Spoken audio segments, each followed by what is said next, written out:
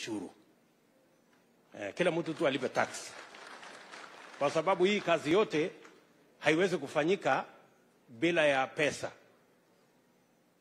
na pesa, hakuna mahali serikali inatoa pesa.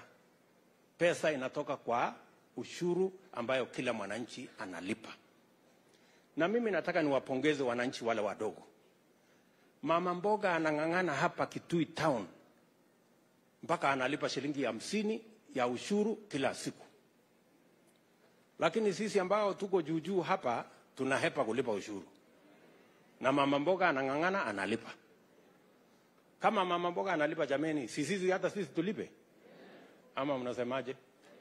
Eh, kila mtu alipe ushuru. Mimi nawaomba kwa unyenyekevu wa Kenya wote, the only way we can truly be an independent nation is when we can support our development with our own resources. Biblia inasema the, the borrower is a slave to the lender. Hii mnaelewa? Yule ambaye eh, ame, amekopesha ni mtumwa ya ule mwenye ambaye anakopesha mwenzake. So we do not want our nation to be in debt. Saa hii tuko na madeni tunalipa shilingi trilioni moja karibu na, na milioni mia nne kila bilioni mia nne kila mwaka. So lazima tusimamishe mambo ya kukopa mapesa ya watu wengine na tuanze kutafuta pesa zetu wenyewe kama Wakenya. Mimi nawaomba Wakenya wote, inawezekana. Saa hizi tunakusanya trilioni mbili, kufikia mwaka ujao tunataka kukusanya trilioni tatu. Before the end of five years tusanye trilioni nne, na ndio tutatengeneza mabarabara, tutahakikisha kwamba watoto wetu wako na masomo ya kutosha, tutaweka maji, tutaondoa njaa na tutahakikisha Kenya inaenda mbele. Na mimi I want to promise you I will lead from the front kuhakikisha kwamba tunaondoa Kenya katika ulingo wa madeni. Tunataka kupeleka Kenya yetu mbele. Tuna, tunaelewana jameni? So mimi nawaomba kwa unyenyekevu, sisi wote tushirikiane. Eh, maneno ya siasa tumemaliza, sasa ni maneno ya kuungana kama viongozi tuweze kushughulika na mambo ya maendeleo ya wananchi wa taifa letu la Kenya. Na mimi nawahakikishia hakuna sehemu ya Kenya itabaguliwa, hakuna jamii ya Kenya itabaguliwa, hakuna sehemu ya Kenya ambayo itabaki nyuma. Tutatembea sambamba pamoja.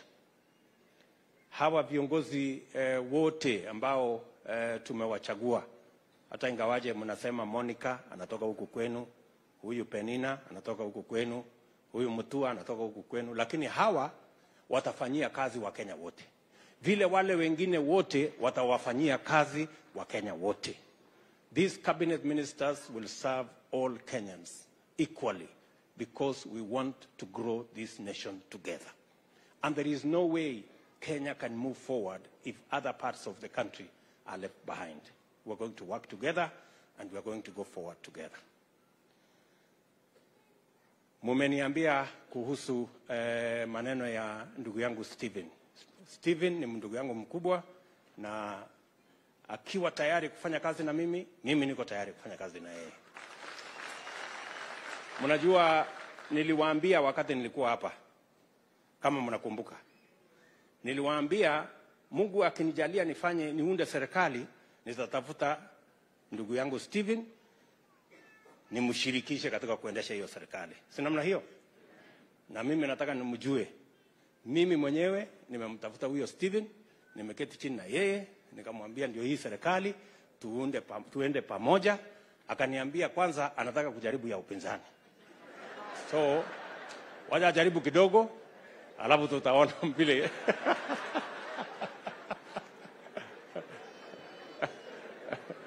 So si namna hiyo? Eh, wacha ajaribu ya upinzani kwanza, tuone ma, vile mahali itafika, alafu tunaweza kuongea tena baadaye. so there is no problem. Hata hii ya upinzani ni kazi pia, so there is no problem. Si tulisema kazi ni kazi so tung'ang'ane tu namna hiyo na vile nimewaambia, hata hii ya upinzani inatusaidia pia kurekebisha maneno, ndio Kenya iweze kwenda mbele. So mimi nawashukuru sana, mjue ninawapenda sana, nawatakia baraka ya Mungu na niwahakikishie tutatembea pamoja na watu wa Kitui na watu wa hapa Ukambani. Asanteni sana, Mungu awabariki. God bless you.